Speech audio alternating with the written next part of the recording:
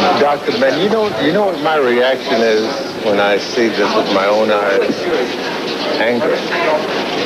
I understand. My brother, I understand.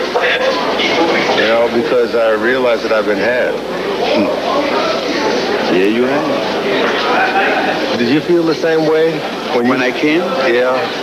I was choked up, frustrated. My anger was like yours, but it had gone to the point where I choked.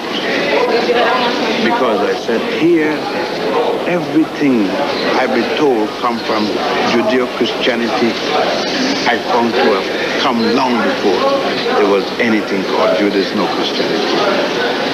And, uh, and these are replicas. These it. are replicas, yes. We've done this. Yeah. And you see the imagery, and they try to deny this. That's what this this the this the tragedy of slavery. It is not so much the physical pain because they died. It is the mental pain that's left. And I think that uh, uh, the slave masters inherited, the, the ones who inherit from the masters can never pay.